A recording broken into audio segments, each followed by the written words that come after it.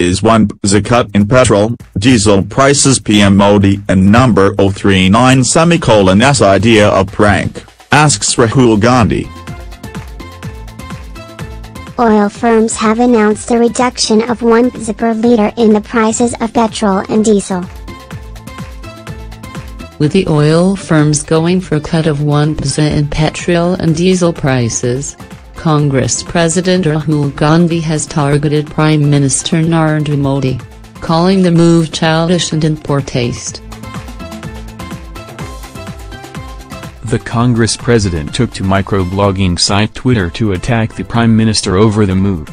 Rahul Gandhi tweeted, Dear PM, you've cut the price of petrol and diesel today by 1 paisa.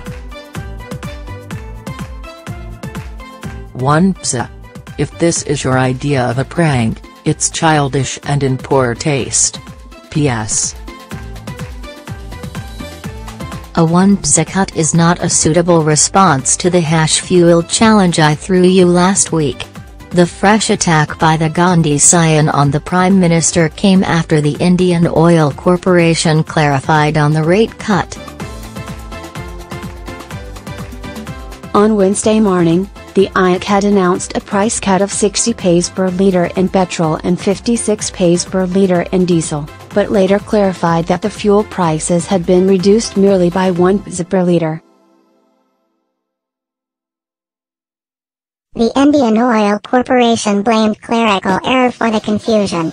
On May 24, the Congress chief had thrown a fuel challenge to Prime Minister Modi. He had challenged the Prime Minister to reduce fuel prices, just as he accepted the fitness challenge by Indian cricket team captain Virat Kohli. He had tweeted, Dear PM, glad to see you accept the Atim Kohli fitness challenge.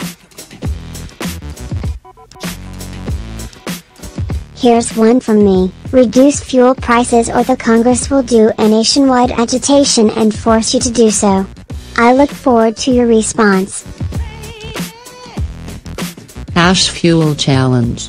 The reduction comes after 16 consecutive price increases since May 14 when fuel retailers ended a 19-day pre-Karnataka poll hiatus to pass on a spike in global oil rates.